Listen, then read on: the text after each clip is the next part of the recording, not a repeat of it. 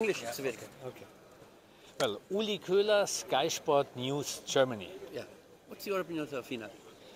I think uh, Leo Messi should win the World Cup. He did so much for football. He is the greatest player in the moment and he deserves it. And he's playing very good for the team. He invented himself new, so he's playing for the team. Everybody wants to have him. But now comes the other thing.